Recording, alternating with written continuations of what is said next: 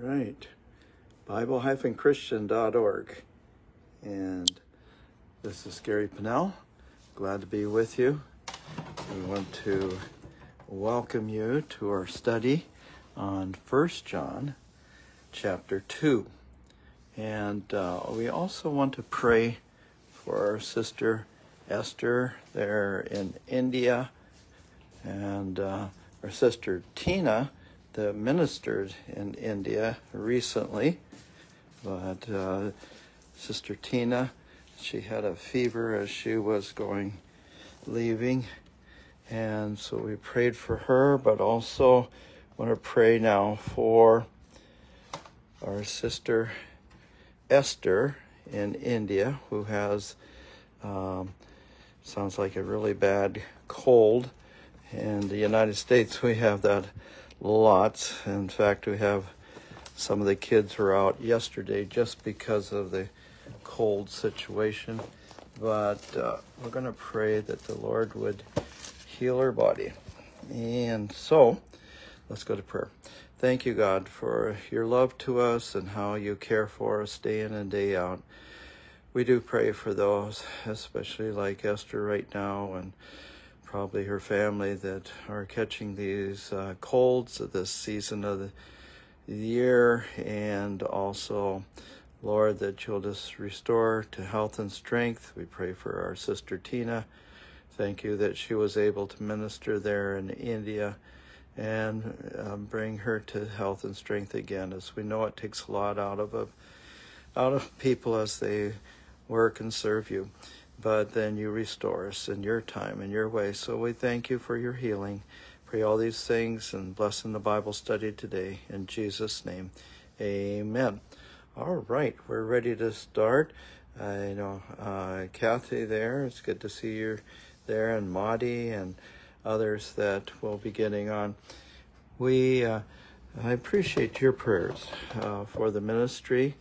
Um, we're not sure how many people actually watch the programs each day, but usually they're afterwards because we have it on YouTube. And by the way, if you would, when you go to YouTube, if you would hit uh, like and also subscribe, doesn't cost anything, but that helps in the ministry as far as um, more people being able to see it. Uh, appreciate if you share with other people the Bible study. And even if each person shared it with one other person, that would go a long ways to help out uh, in getting the gospel out into the world. And then also we have on our Bible study, uh, as we show at the beginning, we have, uh, thank you for your hearts and prayers and so on. Uh, love you folks, and and I will show you that on our uh, website here that each every day we go in and put it on uh, shortly after on the news right here. Like yesterday was First John chapter one, and then today, God willing, we'll put on chapter two as soon as we can. Uh, but then just to thank you for your prayers and day by day. Uh, I love teaching the word, as you know, and I believe that it's uh, the most important thing that we can do with our life is to share the good news with others. So let's go ahead and chapter 2 of First John. Again, we're still reading the things that John wrote. Uh, he was a man that the Lord loved and he loved him and uh, lived a ripe old age. He was the only one of the apostles that died without being martyred, but they tried to kill him several times and they just couldn't. And so he left. Uh, at the end of his life, and we'll, God willing, in December, we'll look at another book that he had as written under the inspiration of the Holy Spirit, and that is the book of Revelation. So let's go ahead and get started here. Started today with um, First John. Okay, First John and chapter two. Okay, So it says, My little children. So John is writing to Christians, he's writing to believers. And it's not any particular church, it's for the whole church, for all of us. Uh, sometimes they do write to churches uh, to because it gives a background and uh, there, but all that the the apostles wrote is inspired of the Lord, and uh, and it's not to say that they couldn't write other things. Uh, Paul wrote, it seems like, a couple other letters to Corinthians that were not part of Scripture, but here John is writing, and this is definitely part of Scripture. He says, "My little children," so born again believers in Christ uh, which we're called. Uh, they we become children of God, don't we? When we receive Christ into our heart and life, and that's First John, or excuse me, Saint John, chapter one, verse twelve. But as many as received Him, to them He gave power to become sons of God, even to those who believe in His name. These things I write to you, so that you may not sin. Okay? So he wants us to live a godly life, a holy life, a righteous life. And but uh, there we will not be perfect until we get to heaven. And even none of the Old Testament saints were perfect. They were blameless and righteous sometimes because they kept short accounts with God. But if they did sin, they asked God's forgiveness. And if anyone sins, we have an ad- advocate, which is a lawyer or attorney, with the Father, Jesus Christ the righteous. So, Jesus, what is his role right now in heaven? He is praying for us. He's advocating on uh, to the Father as Satan comes and says, oh, "Look what they just did there." You know, they're not really saved. They don't really love you. Uh, and um, Jesus can tell the Father, I died for those sins. It's taken care of. Jesus Christ, the righteous. And he himself is the propitiation. Now, that's a big word, isn't it? Uh, propitiation for our sins, and not for ours only, but also for the whole world. Now, propitiation, he has taken our place and he has suffered and died for us to for our sins past present and future and so we can be considered right in God's sight, forgiven, redeemed. And then verse 3 Now, by this we know that we know Him if we keep His commandments. You know, some people say, Oh, I, am a Christian, and uh, and they maybe put on a good show. They're actors like the Pharisees and religious leaders, the Sadducees in Israel when Jesus was there. They were very good actors, very good pretenders. And they would stand on the street corner and make long prayers. They loved to have people say, Rabbi, and that sort of thing. Um, they were pretenders. But God knows. God knows every person's heart. There are famous, famous uh, uh, mega church pastors, which so often it happens. And not every mega church is, of course, the pastor is wicked and sinful uh, and uh, hypocrite or actor, but there are some, and that happens. Uh, but God knows their heart, and eventually they will fall, even if it takes quite a few years. And we've had several recently that uh, they were caught in sin, and or uh, because someone uh, told on them, but it always comes out. if a person is living that way. Uh, years ago, it was Jimmy Swaggart, and he may still have ministry today, but it's not like what it used to be. I was in the Assemblies of God when that happened, and he actually was asked by the Assemblies of God uh, when he was caught um, uh, into pornography and then uh, call girls, uh, and but they were. He was told that he needed to get out of the ministry uh, for a year or so and make sure that he's right with the Lord and his family is. But he didn't do that. He refused to do that. And so, as I believe that he was asked to leave the assemblies of God, but he had a tremendous ministry before that. He was very talented in music and in uh, speaking and uh, uh, outreaches and so on. So, God knows the heart and what's going on. And if there's uh, sin in our lives, we need to get it right with the Lord.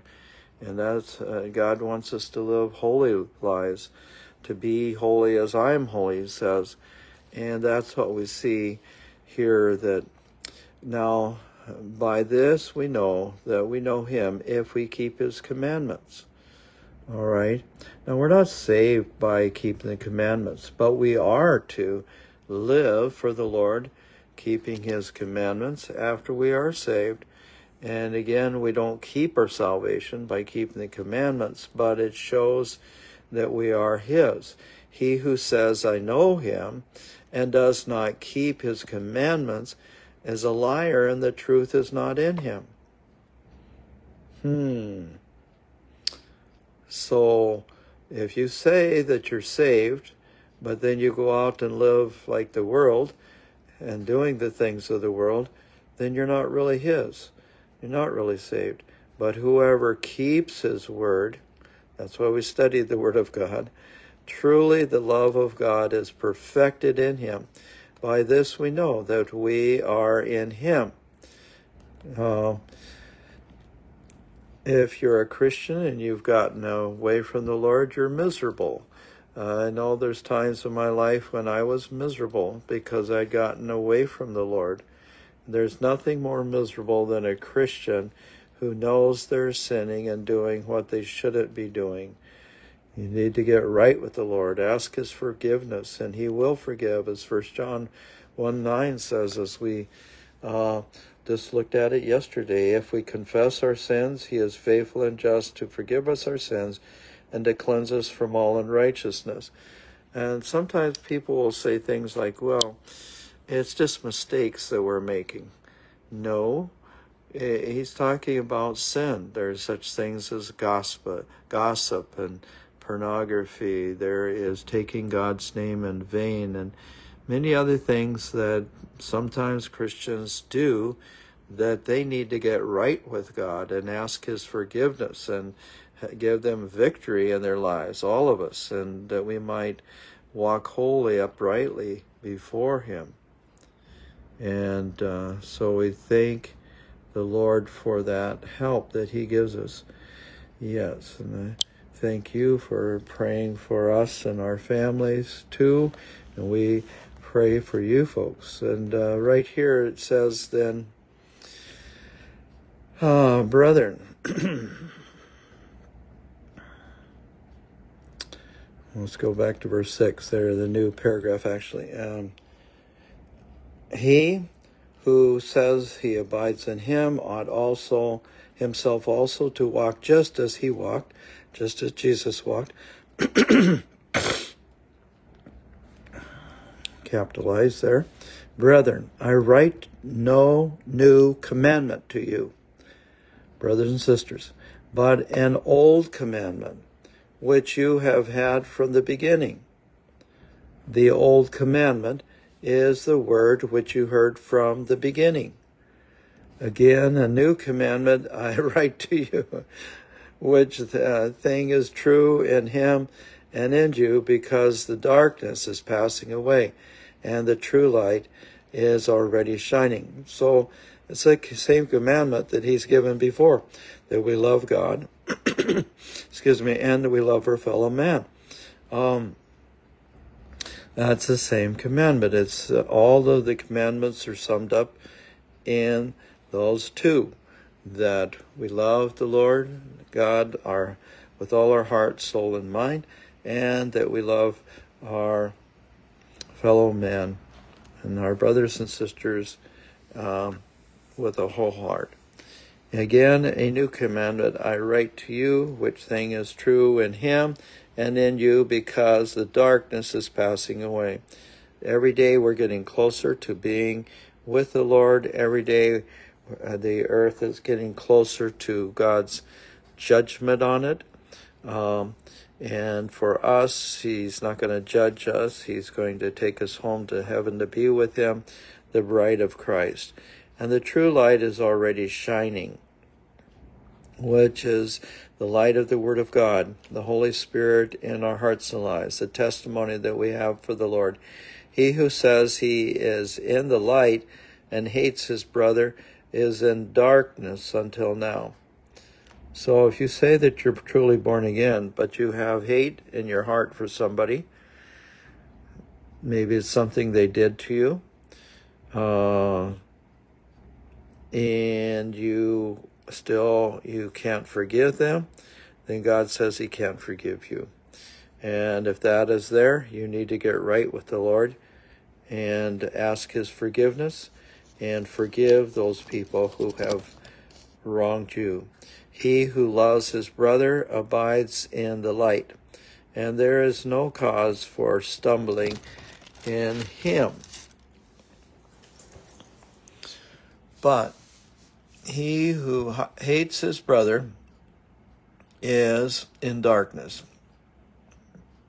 and walks in darkness and does not know where he is going because the darkness has blinded his eyes. We, as brothers and sisters in Christ, we love each other. Uh, if something happens between us, we ask forgiveness for the other person. And maybe it's even people in the world, though, that have sinned against us. Then we forgive them, even as Jesus on the cross forgive, forgave those who were crucifying him uh, even as Stephen, the first Christian martyr, was forgiving those who were stoning him to death. Verse 12 I write to you, little children, because your sins are forgiven you for his name's sake. When you're saved, you've turned to Christ. You've turned away from sin. You've turned to Christ to save you. And he's forgiven you. I write to you, fathers, Okay, those have been Christians for a while because you have known Him who is from the beginning. So as you go along and you've been a Christian for quite a few years, which is my case, um, I'm 76 years old and I was saved when I was nine years old. So you can see that I've been a Christian for some time. I write to you, young men because you have overcome the wicked one. So you're, you're a Christian and you have uh, known the Lord for a while. You've turned away from the world and you've turned to Him to save you. And you're living and walking with the Lord, even though maybe you're you haven't been a Christian very long. Uh, I write to you, little children because you have known the Father. So all of us know the Father and know the Son. And uh, but we're children in the family of God. We have to come as little children in order to be saved. Jesus says you have to become as a little child. You have to have simple faith and trust. I have written to you, fathers, because you have known him who is from the beginning. So you've led some people to the Lord. You know what it's like to lead and to um, bring children into the family of God. I've written to you, young men, because you are strong and the word of God abides in you, and you have overcome the wicked one. Now, I was thinking before, uh, like Daniel and his three friends, they were eunuchs. They didn't have any children. They didn't have, they weren't married. They just lived for the Lord in that condition. However, they don't have physical children, or they didn't have, but you know what? They had spiritual children. To this day, they're getting spiritual children. And uh, others like them. And I think about those that can't get married for one reason or another, or are not married. And, uh, but they can have spiritual children. Uh, and so that's the way Paul was. He was not married. Uh, the other apostles were but he had spiritual children. He had Timothy and Titus, but many, many others that were his spiritual children. And so God can help us uh, that we will have children in the body of Christ and um, uh, spiritual children. Verse 15 Do not love the world or the things in the world.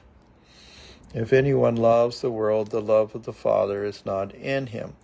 And then the tribulation time, that's the thing the Lord points out is those that this world is their final resting place. This is they love the things in the world. Remember uh, when Lot was leaving Sodom and Gomorrah, uh, they were told not to look back. But what happened to his wife? She looked back because she loved the things that were in Sodom and Gomorrah. She, in Sodom, there, she loved those things. It wasn't a love for God, it was a love for the world and the things in the world. Do not love the world or the things in the world. If anyone loves the world, the love of the Father is not in him. We have these things in the world and we use them for the ministry and so on, but we don't love them. We know that they're going to be destroyed.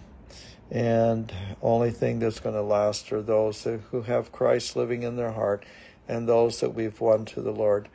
We can take with us to heaven. For all that is in the world, the lust of the flesh, and here it is uh, in uh, three categories, three main categories the lust of the flesh, and the flesh gets us in trouble lots, right? The lust of the eyes, all right? The eyes can get us in trouble. And the pride of life, pride. That's how Satan fell, was through pride. But uh, is not of the Father, but is of the world. And the world is passing away, and the lust of it. But he who does the will of God abides forever. Amen. This living for the Lord, not hanging on to anything in this world, but loving our brothers and sisters in Christ, loving our family, our wife, our our husband, depending on, uh, and our children, grandchildren, great grandchildren, all those that come for us from us, we pray for them that they will come to know Christ as Lord and Savior. Little children, it is the last hour. Now, if it was the last hour then, you know, I think for us as we're looking around and uh, don't hang on to the things here because we're going to be out of here soon. And whether uh, the Lord takes us and we have our individual uh, rapture or as we're raptured in the church, we're getting ready to go home to be with the Lord at any moment. We don't hang on to the things of this world. Brother Gabriel there in Kenya, Kisumu, the Lord bless you, and another brother, uh, Mansia Lapa. Uh, and the Lord bless you, folks, as we're studying the word here in First John chapter 2. And now we're at verse 16. For all that is in the world, the lust of the flesh, lust of eyes, and the pride of life, is not of the Father, but is of the world. And the world is passing away, and the lust of it, but he who does the will of God abides forever. Amen. We're living for the Lord day by day. Little children, it is the last hour, and it's getting shorter and shorter till the time of Jesus' return. And as you have heard, that the Antichrist is coming. And yes, we've been taught about that, and uh, we've talked about it in this Bible study.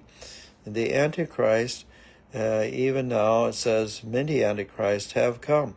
So you have a lot in the world that are already acting as the Antichrist, and there's going to be one who is going to be filled with Satan, and he is going to uh, rule the world for uh, seven years. Um, but and uh, by which we know that it is the last hour.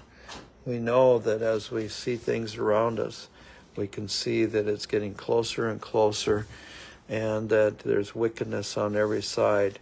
Uh, it was interesting that just recently uh, at a rally, that a lady that's running for, well, she's vice president right now, Kamala Harris, but there was a rally that she had, and two Christians went there, and they shouted out at one point when she was talking about abortion and how she was encouraging that and making sure that the women would have right to abortions, and actually they have them right up to the time the baby is born, and uh, in some states. And the thing is, uh, she's encouraging that and and that sort of thing. And uh, so they shouted out, these two Christians, they shouted out, Jesus is God. Jesus is Lord. So there's two of them that shouted that out. And she stopped what she was saying and she said, you're in the wrong place. You need to go down to the other one down the street, uh, which is a smaller one. But at that, uh, that was uh, uh pre- former President Trump was down at the other rally. But instead of this woman saying, "Oh yes," no, she said, "No, uh, you need to go down to the other one." In other words, she didn't agree with what they had to say that Jesus is Lord and Jesus is God. If she believed that, that's all she would have to say. And she goes to churches that are liberal and don't believe that. But anyway, and someone at um, uh, Raleigh that the vice president is running uh, on the other team, Trump's team, uh, they shouted, as people said that, and he said to them when they said Jesus is Lord or Jesus is God, that he said Amen. All right, that's the way it should be, isn't it? And so um, we should say in our hearts, Jesus is Lord. And with our mouth, we should confess it. Jesus is Lord. So it says that uh, those that didn't believe that, they went out from us, but they were not of us. For if they had been of us, they would have continued with us. So even during that time, there were, of course, persecution going on and so on. But it's not just persecution, it's some that start and they are not truly born again, but they went out that they might be made manifest that none of them were of us. So don't be surprised. That will happen in your churches. People that seem like they're Christians, seem like they're born again, but they're not. And eventually they will reveal their real position and uh, will go away. But you have an anointing from the Holy One. When you're born again, you have the Holy Spirit in you, and He anoints you, and you ha- know all things. He teaches us all things. He uses the word, though. Some people say, well, I don't need the Bible. Well, that's not true. You do need the Bible. He uses the Bible to speak to us. Verse 21 I have not written to you because you do not know the truth, but because you know it and that no lie is of the truth.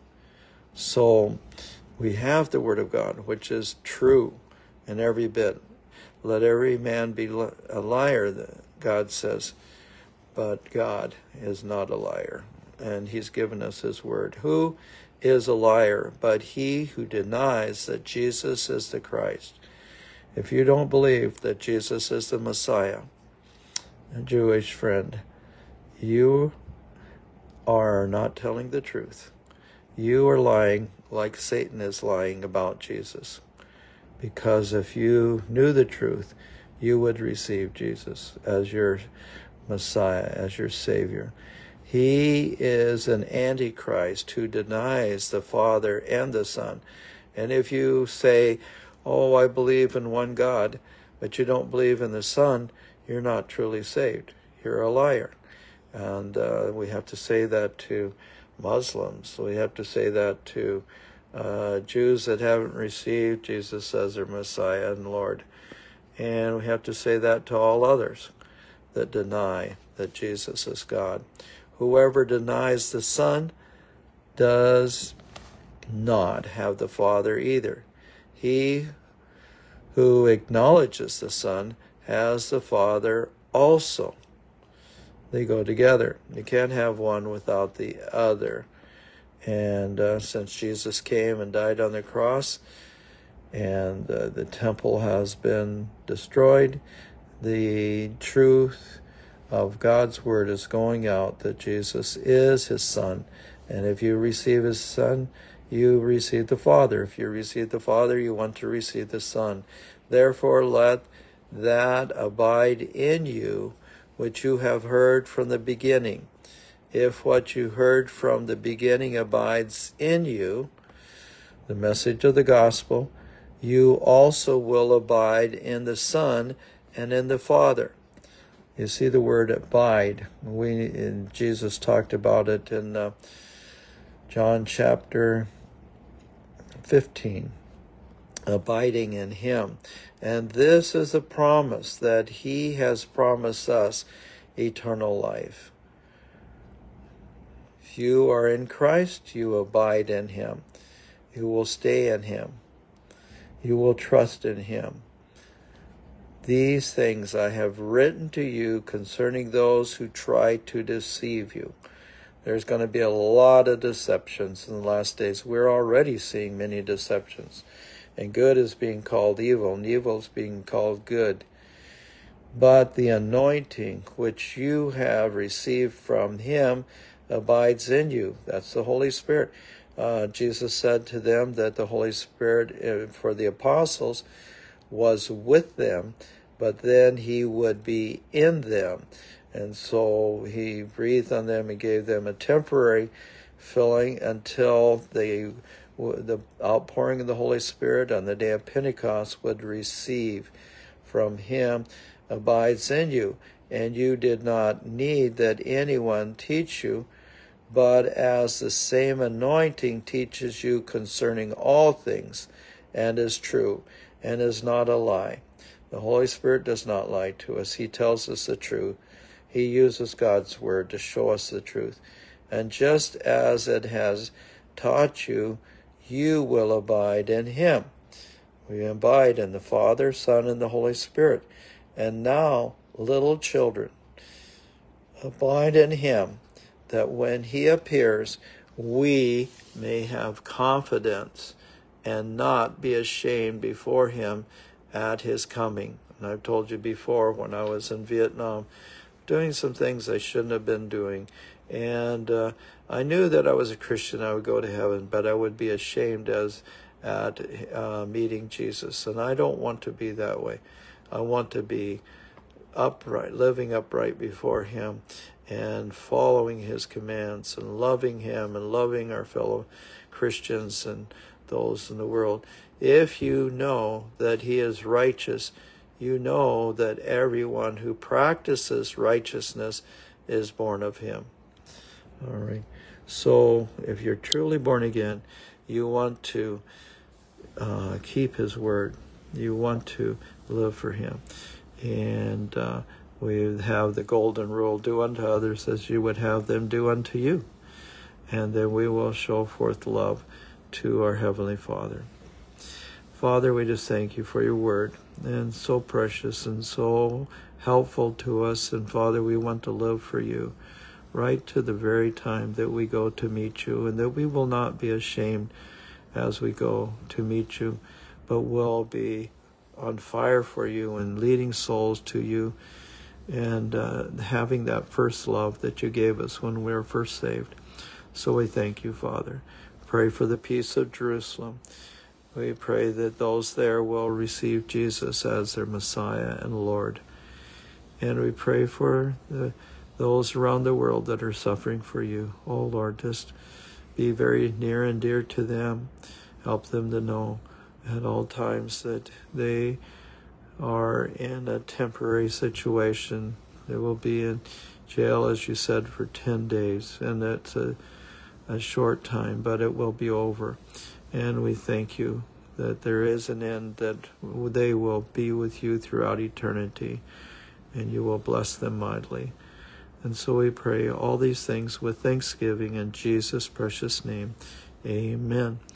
The Lord bless you, brothers and sisters in Christ, and we'll spend eternity together, and we can visit more at that time. But I'll see you, God willing, tomorrow.